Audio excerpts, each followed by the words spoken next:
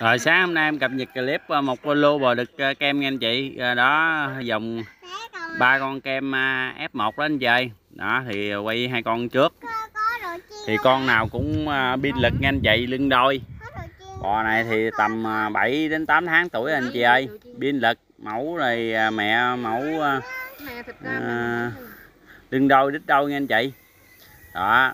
Thì con nào cũng chân móng hoàn thiện, lưng thẳng đòn dày, bao tật lỗi cho anh chị luôn bò này mẫu thả đồng thì nó không được bóng như bò đứng chuồng nhưng mà mạnh khỏe chắc chắn anh chị ơi. Đó mình bắt về mình dỗ thì mau lên. Đó mẹ thùng dạo đó anh chị ơi. Đó thì con được uh, được kem này con nào cũng hiện dạng chân cắn cối. Quá trời cái lưng cái mông đùi không? Chiều cao sau mục đít thì yếu mét mốt nha anh chị. Giữa lưng thì trên mét hết.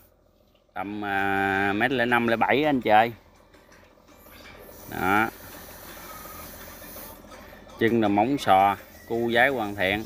Con này đầu trụi luôn. Đó. Lưng thẳng đòn dài, chân thẳng trụ nha anh chị. Những dòng F1 này mình vỗ béo đường dài thì ngon anh chị ơi. Nuôi mau lên. Đó. Ngồi cho nó hư có ăn hết. Thì cặp thứ hai này con nào cũng lưng đôi, lưng trẻ đôi luôn nha anh chị. Lưng như ba b luôn. Nó cũng đầu trụi luôn. Sừng như cái mày ốc kìa anh chị ơi. Nó chân móng ờ, lưng thẳng đòn dài dòng ba, kem F1 bì ba con này đồng lứa, đồng trạng anh chị ơi. Thì anh chị gần xa thích ba con này thì liên hệ số điện thoại em để cho mình cào bằng thì 14 triệu rưỡi con. Bắt ba con thì bao ship.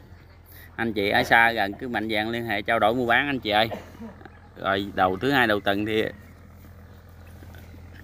thì ờ, có ba con bò này thì anh chị nào muốn ờ, có ờ, bò được thịt thì trao đổi cũng được. Hay là cái năng, muốn bắt ba con này gì dỗ béo thì liên hệ.